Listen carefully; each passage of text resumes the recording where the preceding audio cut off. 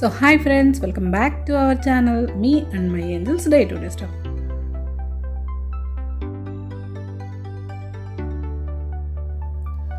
so నేను మీ Sudha. So ఈరోజు నా రెసిపీ వచ్చేసి మురుకులు. సో పిల్లలకి ఎగ్జామ్స్ అయిపోతున్నాయి. సమ్మర్ స్టార్ట్ అయిపోతుంది. ఈ సమ్మర్లో ఇలా మనం పిల్లలకి గనక స్నాక్స్ చేసి పెట్టామంటే హ్యాపీగా ఎంజాయ్ చేస్తారు. సో ఈ మురుకుల్ని చక్కగా బొంగు విడుస్తూ వచ్చేలాగా క్రిస్పీగా టేస్టీగా చేసుకోవడం ఎలాగో ఈ వీడియోలో చూసేయండి. సో ముందుగా నేను నా దగ్గర ఉన్న ఒక గ్లాస్ కొలతతో మూడు గ్లాసుల వరి పిండిని తీసుకుంటున్నాను.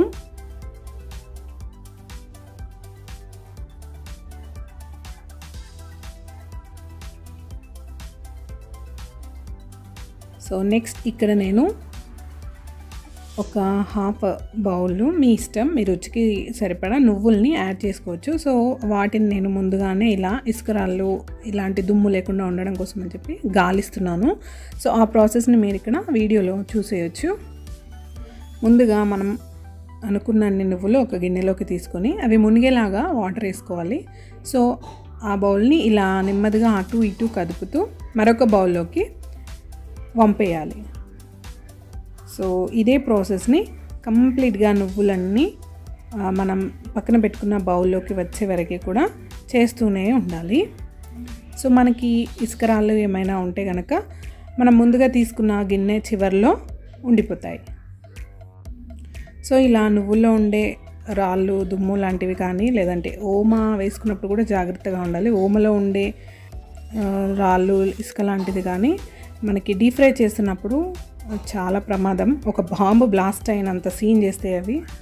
సో ఇలా నువ్వుల్ని ఓమని ముందుగానే ఇలా వాటర్తో గాలించి పెట్టుకోవాలి. సో మనకి మంచి నువ్వులన్నీ కూడా అడుగు భాగంలో చేరుకుంటాయి. సో మిగతా పైన చేరుకున్న నువ్వులు విత్ వాటర్ని మెల్లిగా పంపేసి ఒక ఒక క్లాత్ పైన కానీ లేదంటే జల్లెట్లో కానీ వేసుకొని వాటిని కాసేపు ఆరబెట్టుకోవాలి. సో నాకైతే నేను గాలించుకున్న ఈ ఎలాంటి ఇసుకరాయి కానీ ఏమీ రాలేదు.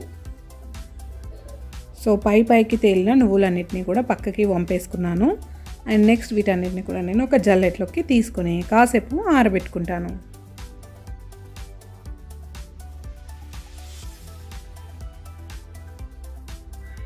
సో వీటిని చక్కగా ఫ్యాన్ గాలి కింద అయినా ఆరబెట్టుకోవచ్చు లేదంటే ఎండలో కూడా పెట్టుకొని ఆరబెట్టుకోవచ్చు.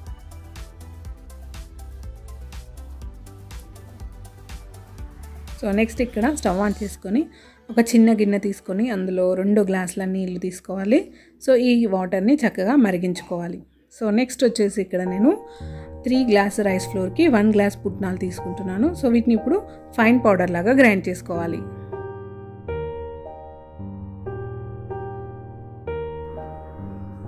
సో ఇలా మెత్తగా గ్రైండ్ చేసుకున్న పుట్నాల పిండిని మన రైస్ ఫ్లోర్కి యాడ్ చేసుకోవాలి. సో ఇదంతా కూడా చక్కగా కలిసేలాగా కలుపుకోవాలి.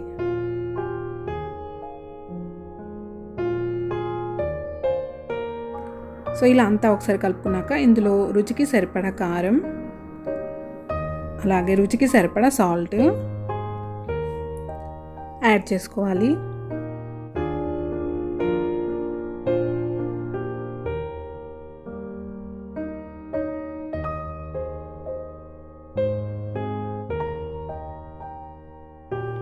సో ఈ మురుకులకి నువ్వులతో పాటు ఈ వాము మంచి ఫ్లేవర్ని ఇస్తుంది రుచిని కూడా యాడ్ చేస్తుంది. సో దీన్ని నేను ముందుగానే గాలించి పెట్టుకున్నాను. సో ఇలా వాముని రెండు చేతుల మధ్య నలుపుకుంటూ వేసామంటే సో దాని ఫ్లేవర్ ఇంకా ఎన్హాన్స్ అవుతుంది. సో నేను ఇక్కడ అర టీ స్పూన్ జీలకర్రని కూడా యాడ్ చేస్తున్నాను. సో నెక్స్ట్ నేను చిటికెడంత పసుపు అండ్ కొంచెం ఇంగు అని కూడా యాడ్ చేస్తున్నాను. సో ఇది వచ్చేసి ఆప్షనల్. సో నెక్స్ట్ ఇదంతా కూడా చక్కగా కలుపుకోవాలి.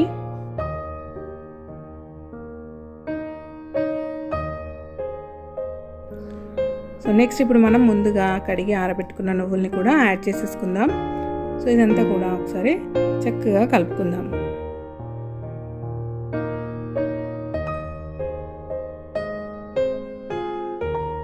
నెక్స్ట్ నేను ఇక్కడ ఒక టేబుల్ స్పూన్ ఆయిల్ కూడా యాడ్ చేస్తున్నాను. సో ఈ ఆయిల్ని మనం బాయిలింగ్ వాటర్లో కూడా యాడ్ చేసుకోవచ్చు లేదంటే ఇలా పిండికి కూడా కలుపుకోవచ్చు. సో ఇది మనకు మురుకులు అనేవి గుల్లగా రావడానికి హెల్ప్ చేస్తుంది. సో ఈ ఆయిల్ అంతా కూడా పిండికి చక్కగా కలిసేలాగా ఒకసారి కలుపుకోవాలి. సో ఇక్కడ ఒకసారి పిండిని రుచి చూసుకొని ఏమైనా సాల్ట్ కానీ కారం కానీ పడితే యాడ్ చేసుకోవచ్చు. సో నేను ఇక్కడ కొంచెం సాల్ట్ని యాడ్ చేస్తున్నాను. సో ఈ పిండినంతా కూడా మరొకసారి కలుపుకొని మన బాయిలింగ్ వాటర్ని ఈ పిండిలో వేసి కలుపుకోవాలి.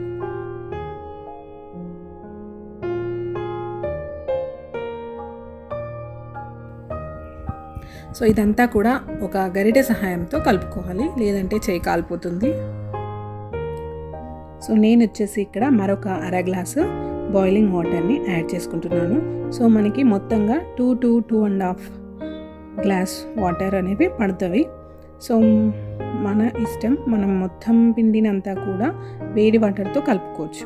లేదు అంటే కొంచెం వేడి వాటర్ కొంచెం చల్లటి వాటర్తో కూడా కలుపుకోవచ్చు. సో ఇక్కడ ఒక చిన్న మాట ఏంటంటే మనం పిండినంతా కూడా వేడి వాటర్తోనే కలుపుకున్నట్టయితే కనుక మనం మురుకుల్ని డీప్ ఫ్రై చేస్తున్నప్పుడు అవి ఆయిల్ని ఎక్కువగా పీల్చేస్తాయి సో అలా నేను ఇక్కడ మొత్తంగా టూ అండ్ హాఫ్ గ్లాస్ వాటర్ని యూస్ చేసుకుంటున్నాను బాయిలింగ్ వాటర్ని సో ఇలా మొత్తం కలిపి పెట్టుకున్న తర్వాత సో చక్కగా ఒక మూత పెట్టి కవర్ చేస్తున్నాను. సో ఇలా మూత పెట్టుకోవడం వల్ల మనకి పిండి అనేది చక్కగా మెత్తగా సాఫ్ట్గా అయిపోతుంది.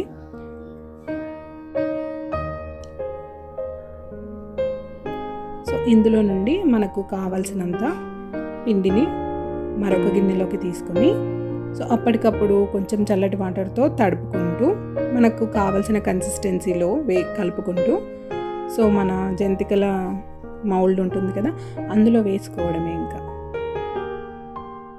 సో నేను ఇక్కడ ప్రతిసారి త్రీ మౌల్డ్స్కి వచ్చేంత పిండిని తీసుకుంటూ ఇలా చల్లటి వాటర్తో సో మనకి జంతికల మౌల్లో ఏ కన్సిస్టెన్సీ ఉంటే పర్ఫెక్ట్గా ప్రెస్ అవుతుందో ఆ కన్సిస్టెన్సీలో ఇలా చక్కగా కలుపుకుంటున్నాను.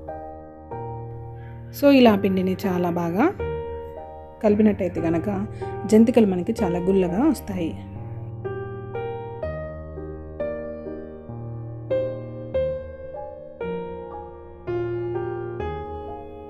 సో నెక్స్ట్ ఇక్కడ స్టవ్ ఆన్ చేసుకొని ఒక బాండీ పెట్టుకొని అందులో డీప్ ఫ్రైకి సరిపడా ఆయిల్ని యాడ్ చేసుకోవాలి.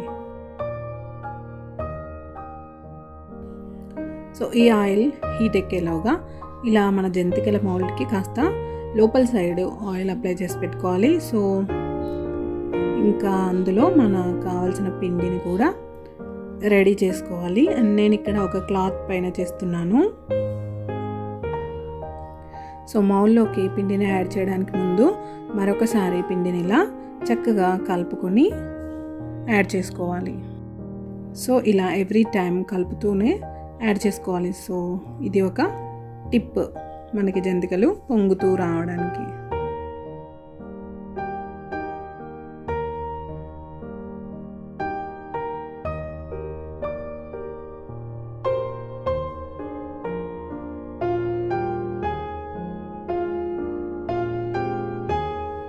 సో ఇలా పిండిని జంతికల మౌల్లో ఫిక్స్ చేసుకున్న తర్వాత మనం ముందుగా కాటన్ క్లాత్ని రెడీ చేసి పెట్టుకున్నాం కదా సో దానిపైన ఒక్కొక్కటిగా ఒత్తుకుంటే సరిపోతుంది. సో ఇంతే. ఇంకా మీకు నచ్చిన షేపులో మీరు ఈ జంతికలను ఆర్ మురుకుల్ని చేసుకోవచ్చు.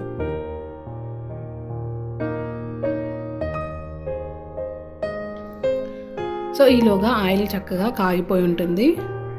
సో మనం ఒకసారి ఇలా చెక్ చేసుకోవాలి. సో నెక్స్ట్ ఇంకా ఒకదాని తర్వాత ఒకటి చక్కగా ఆయిల్లో వేసుకొని ఫ్రై చేసుకుంటే సరిపోతుంది.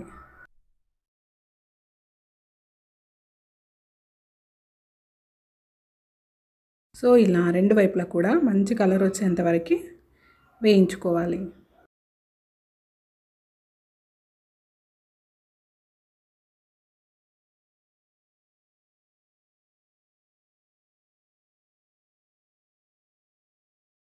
సో ఇలా మనం కిచెన్లో ఉండి పిల్లల కోసం ఏదో ఒక స్నాక్ ప్రిపేర్ చేస్తున్నప్పుడు వాళ్ళు మధ్య మధ్యలో వస్తూ మన ప్రిపరేషన్ ఇంకా పూర్తిగా అవ్వకముందే వాళ్ళు తినడానికి ట్రై చేస్తూ అరే భలే ఫన్నీగా సంతోషంగా అనిపిస్తుంది కదా ఫ్రెండ్స్ సో ఇక్కడ అద్విక వచ్చి తనకు ఈ మిగతా షేప్స్ కూడా కావాలని చెప్పి నాకు చెప్తోంది.